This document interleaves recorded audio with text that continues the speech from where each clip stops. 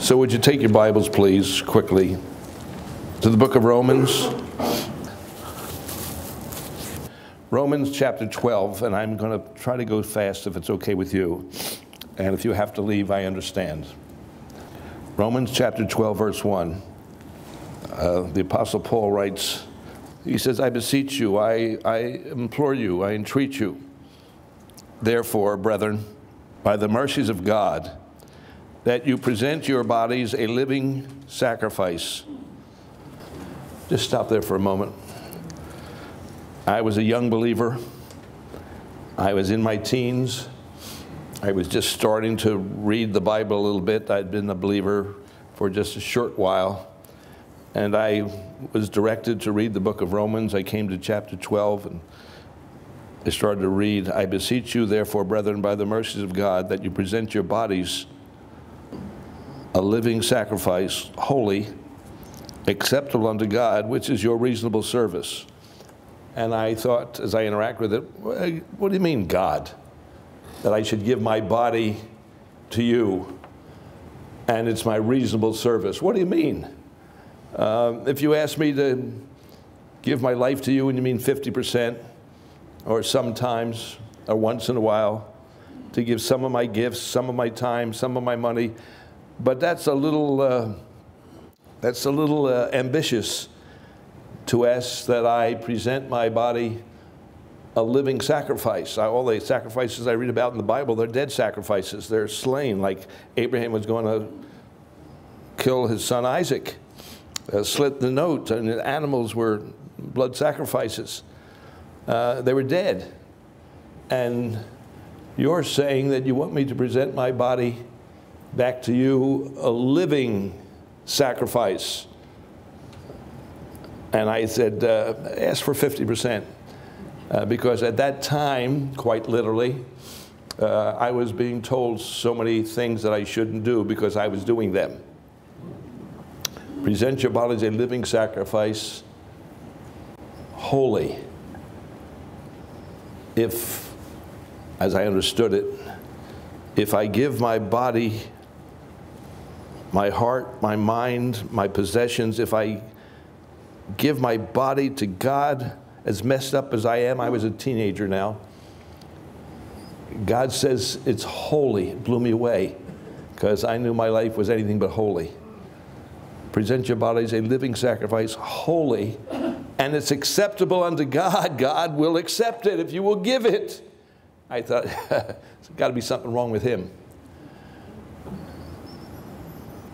I told you I was a teenager. Um, a missionary had come into our little candy store, our luncheonette, came back week after week, month after month for a couple of years. Uh, at first, my mother wanted to throw her out of the store when she started to talk about Jesus, but it was a public place, so she didn't do it. But she didn't like the woman, and I disliked her even more. She'd come back week after week. We found out she was a missionary. That was terrible for us. That was worse than a dirty word, a missionary in the Jewish community, and ours was a Jewish community. And uh, she, we found out, would go knock on the doors one street and another and try to engage them in conversation and give people uh, booklets or brochures or Bibles. And these were almost all Jewish people. This was a Jewish community, and she wasn't very liked at all, but she'd come back week after week after week, month after month for years.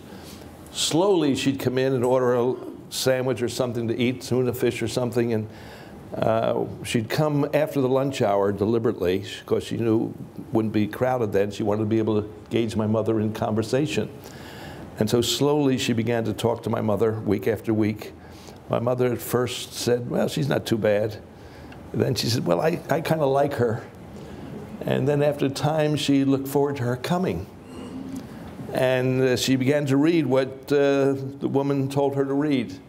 And after a period of time, my mother came to faith in the Lord Jesus Christ. I saw such a dramatic change in my mother that I said, it's got to be true, and I accepted Christ. But when I did that, I thought that has nothing whatsoever to do with the here and now. It only has to do with the by and by.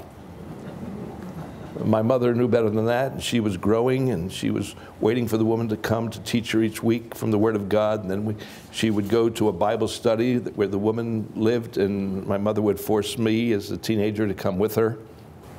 But uh, I would go to the movies. And this missionary said, You shouldn't go to the movies to see those pictures. I thought she was crazy.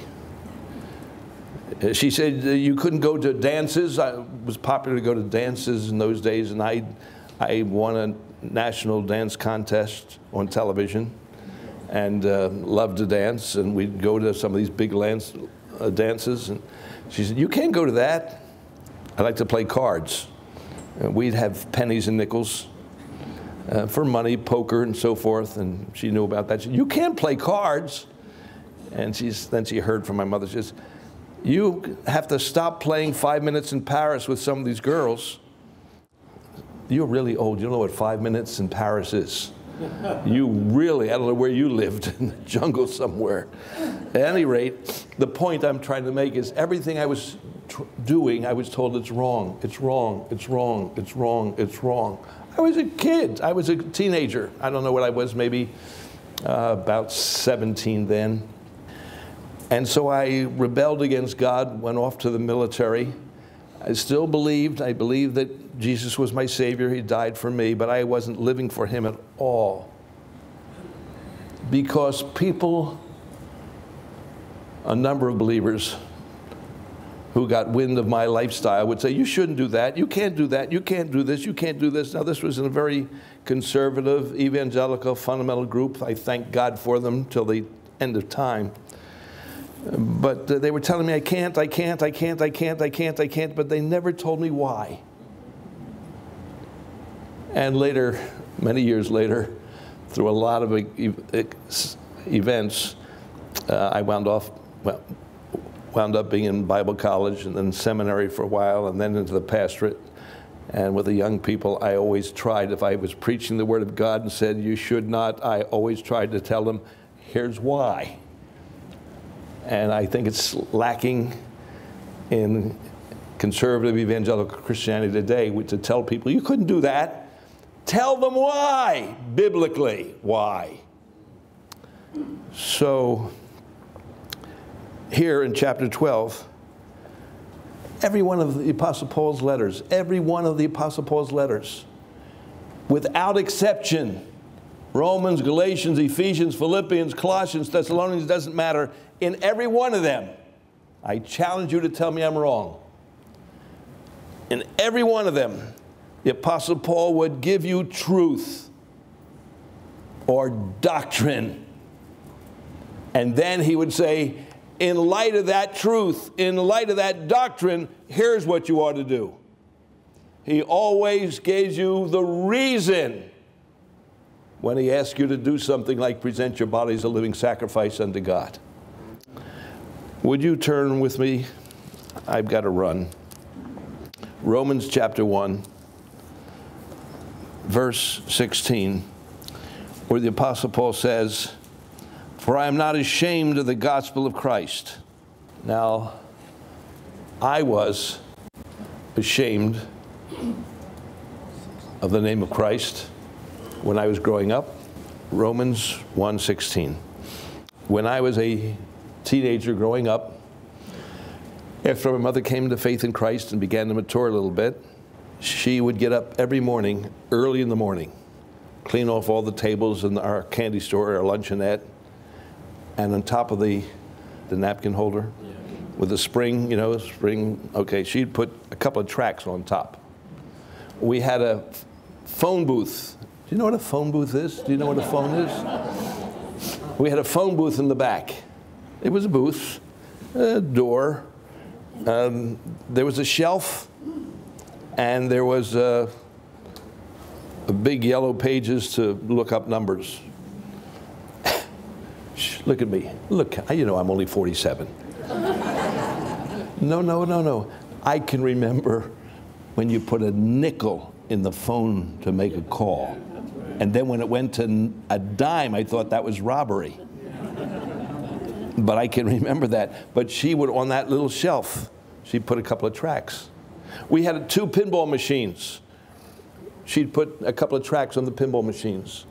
Um, we had a lot of dancing, so we had a machine to play the music You know, it was a nickel or a dime. Now it's 50 cents or a buck if you, if you can find one anymore in a restaurant. To, you don't go to those kind of restaurants. You're all huppy, duffy people. You don't go to the white college or stuff. But my, my mother would witness to everybody would come, oh, these are all Jewish people. She would witness to them. It got so bad, she decided we're going to have a Bible study. Now, we had the store. It was a long, narrow store. In the back, there was a door that led to a kind of a living room and a kitchen. Up the living room, there were steps. Upstairs were three bedrooms and a bath. We lived behind and above. We'd come down into the, into the store. So my mother said, This is too important. We have to tell everybody about the Lord, the Messiah, the Jesus. So she asked the missionary, Can we get a preacher or a pastor over here to teach a Bible study in the back room? You'd go to the back of our store, there was a door, and there was a room. And once a week, she'd have a pastor come in to teach a Bible study in the, in the room right behind our store. And inside the store, the pinball machine was playing, the jukebox was on, and the kids were dancing in the back of the store.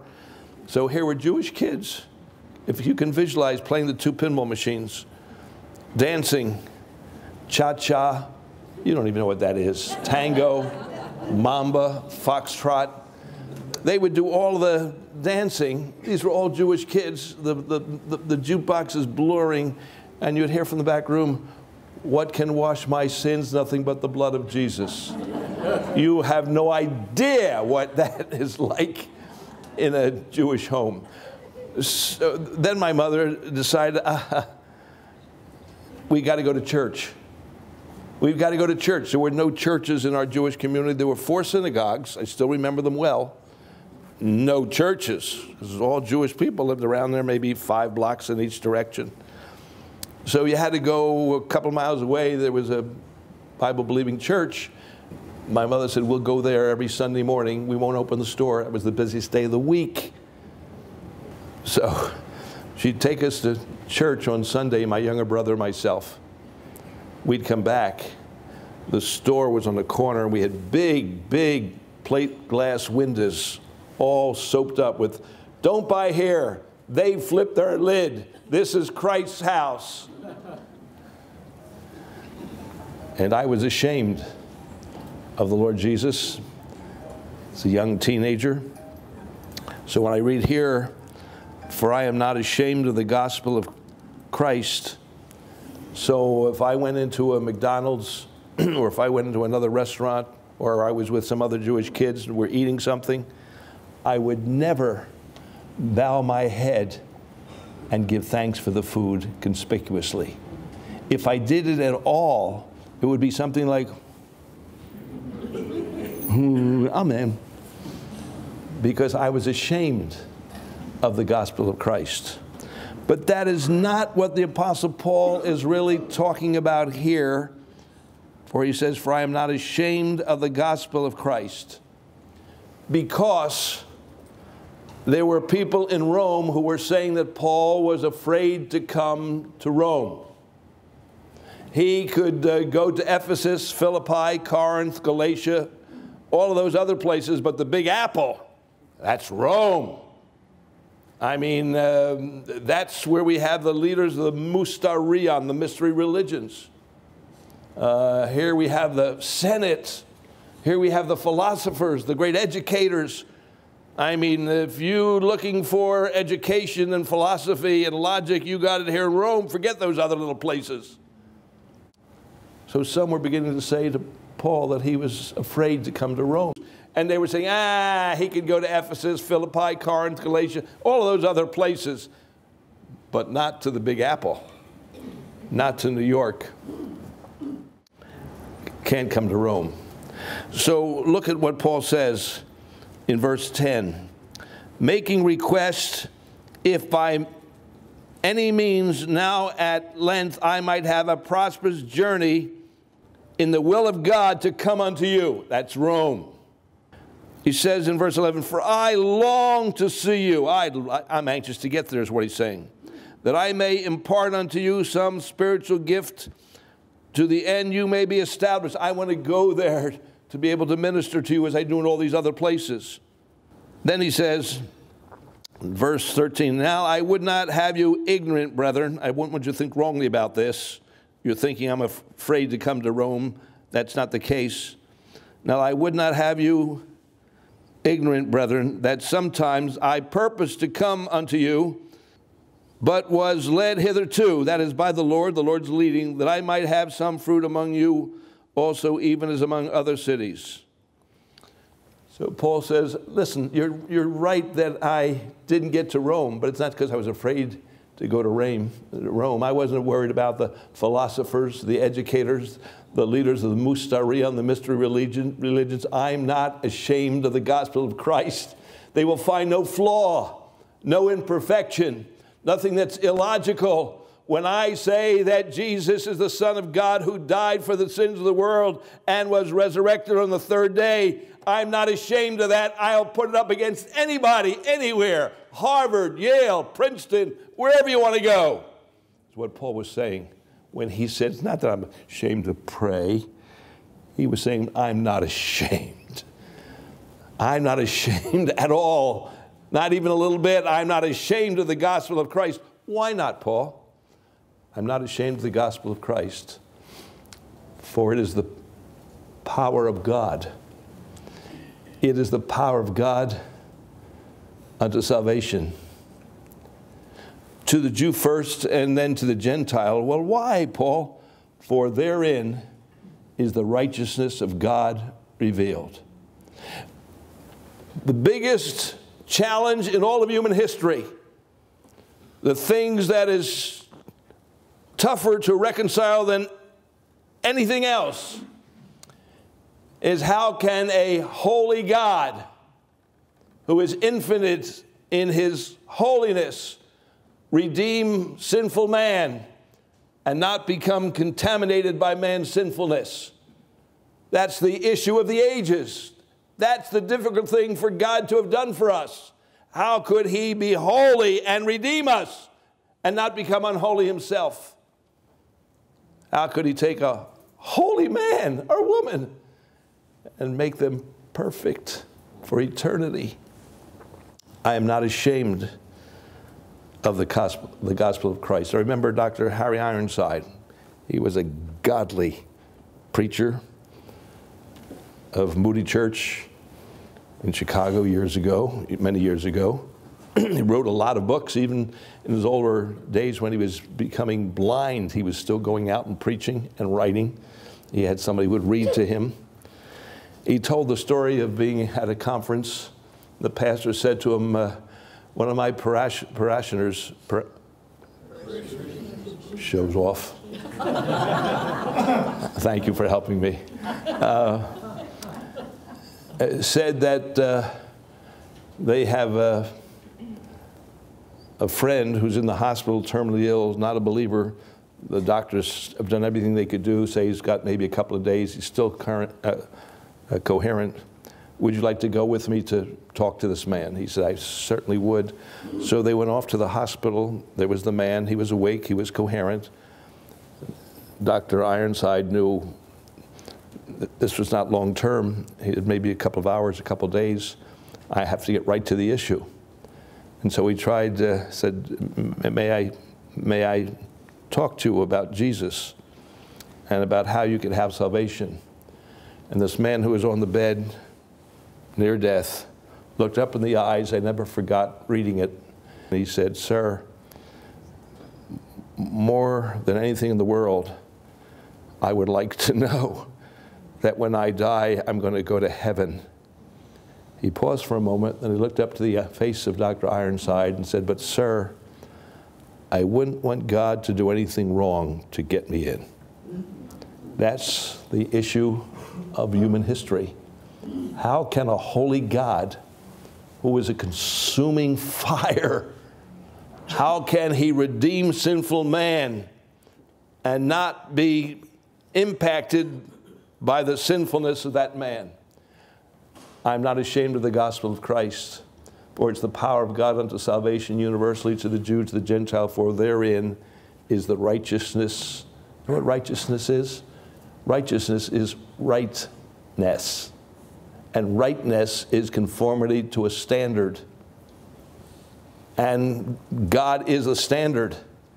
And God Himself had to live up to that standard in the saving of us. For therein in the gospel is the righteousness, the rightness of God. Having done that, and I must go very quickly, he then, in the chapters that followed, chapter 2 chapter 3, verse 20, he takes the Jewish people who had the Mosaic law and the Gentiles, very clearly, who had revelation of God in creation.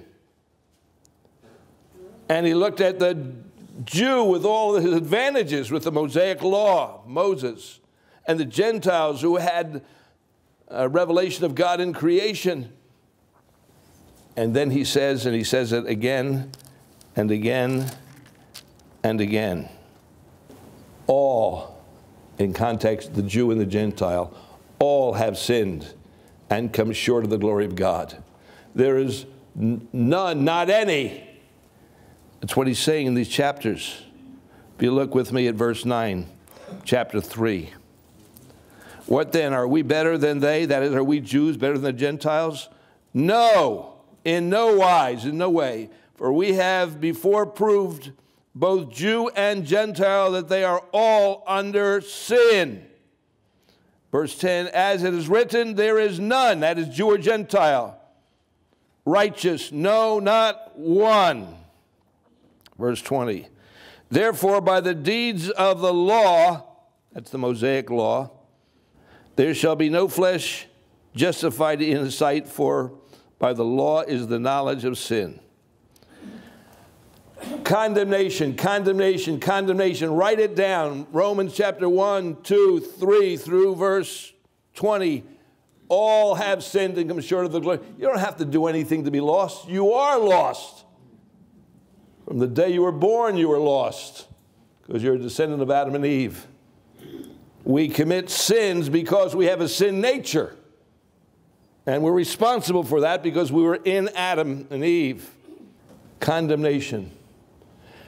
The, the difficulty, if you're trying to share your faith with your neighbors or anybody else, the difficulty is not so much in getting them saved. The difficulty is to get them lost. Now, understand, they are lost. They are alien, separated from God. They are. It's not maybe later. They are separated from God. They are under condemnation. Once you get somebody to realize that they are under judgment of God, they're going to be eternally separated from Him. It is relatively easy to get them to trust Christ. The problem is not to get them saved initially, it's to get them lost. They are, but they've got to know it. And then, much easier to lead them to faith in Christ. So now, in chapter 3, verse 21, listen to this. We've just been told that all have sinned and come short of the glory of God. There's none righteous, no, not any. Jew, Gentile, everybody is separated from God. But now, read it the way it's written by Paul. But now the righteousness of God. What do I care about the righteousness of God? I have none of my own. I'm lost. I'm separated. I'm alienated. I'm going to hell. I'm under condemnation. Not I will be, I am. And if I die that way, it's forever. Get the seriousness of this. But now, the righteousness of God without the law, that is human effort, is manifested, being witnessed by the law and the prophets. Verse 23 For all have sinned and come short of the glory of God. If you look at verse 28, therefore we conclude that a man is justified by faith without the deeds of the law of, of work.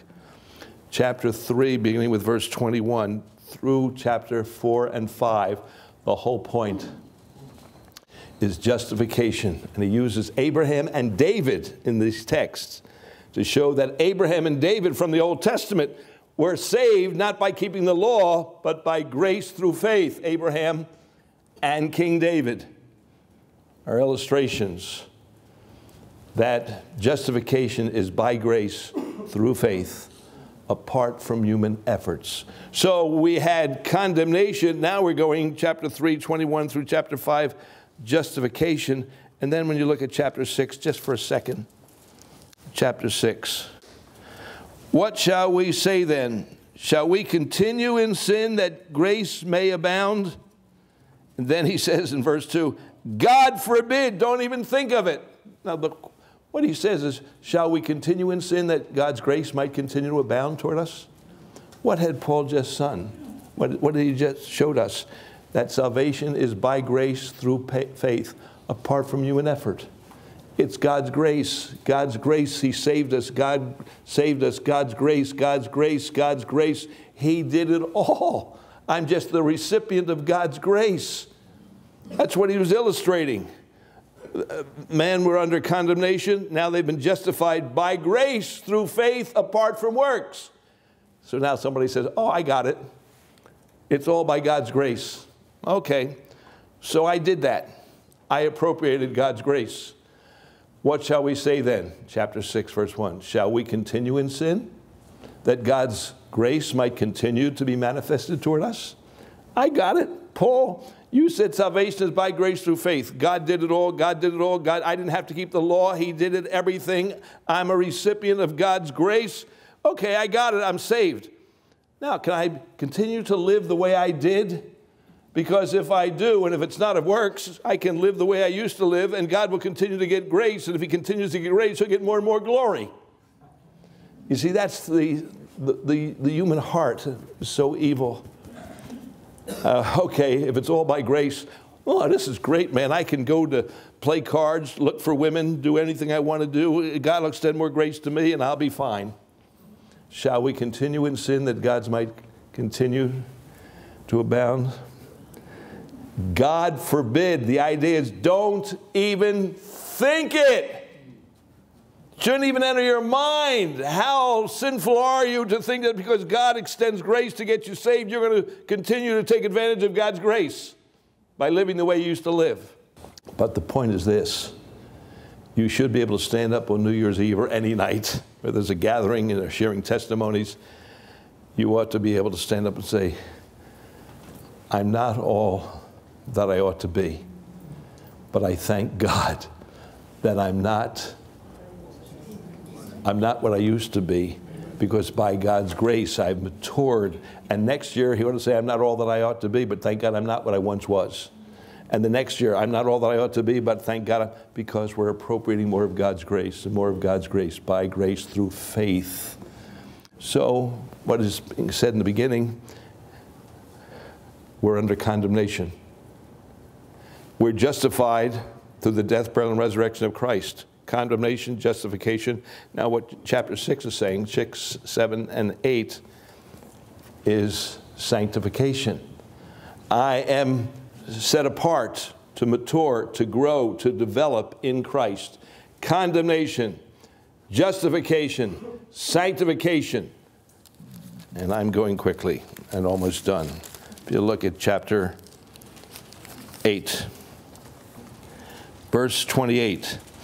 And we know that all things work together for good to them that love God, to them who are the called according to his purpose. You all are familiar with this verse. For whom he did foreknow, he also did predestinate from foreknowledge to predestination to be conformed to the image of his son, that he might be the firstborn among many brethren. Now, verse 30. Moreover, whom he did predestinate, one, them he also called, two. Then they were justified, three. Then we are glorified. From condemnation to justification to sanctification, the end product is glorification. When God is done with us, the process that He began when we trusted Jesus Christ as our Savior we moved out of condemnation. How did we do it? Through justification. Jesus Christ died for my sin. So condemnation, justification, now sanctification. I've got to mature. I've got to grow. I've got to say I'm not all I ought to be, but I'm thank God I'm not what I once was. And when the process is completed from condemnation to justification to sanctification to glorification, when God is done with us, the mess we are in every way physically, mentally, spiritually, when He is done, we are going to be perfected. I'm perfected Marvin. no, when God is done with us, we're going to be perfect in every way condemnation to justification to sanctification to glorification. That's the truth. That's the doctrine. Now, having given us the doctrine, he says, I beseech you, I beg you, I implore you, based on these mercies of God, that you present yourself a living sacrifice, holy unto God. Listen, which is your reasonable service. Why should I stop playing cards? Why should I stop going to the movies? Why should I stop? Well, learn truth in the Word of God and see if there are certain things that are inappropriate for you to be doing as a believer. I close now with verse 2 and be not conformed. I love that word, schemazo. Be not conformed. That is, do not allow this sinful, wicked world with all of its tentacles, with all of its solicitation, of all of its appeal to us in all different ways. He says, and be not conformed. Don't be schemed, shaped, molded by this sinful, wicked world in which we live. Be not schemazoed.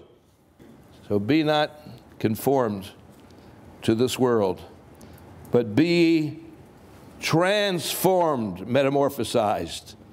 Don't allow this sinful world to come upon you to shape you, to mold you, but instead be transformed from the Word of God, from divine truth. Look what he says. And be not schemazoed to this world. Don't allow it to fashion you. Be transformed. How? By the renewing of your mind, that ye may be prove. Actually, the Greek word is better translated approve in the doing of it, that you might approve what is that good and acceptable and perfect will of God. Listen, and I close. If the one that we, in the foolishness of our minds, if in the foolishness of our minds, the one that is the least among us, we think, or stand up in front of us, the one we think is the least among us from a variety of ways. If we were to see what that person will be like when God is finished with him or her, from condemnation to justification to sanctification to glorification, the one that we think is the least among us, if that one was to walk right up here, and if we were to see what they will be like, or she will be like, when they are glorified. The rest of us would be prone to fall on our faces and worship. God is going to glorify every one of us. And the more we grow and mature and develop along the way, it'll be easy for the Lord to make of all of us something beautiful. Thank you for your patience. You've been so gracious. And the Lord bless you and keep you.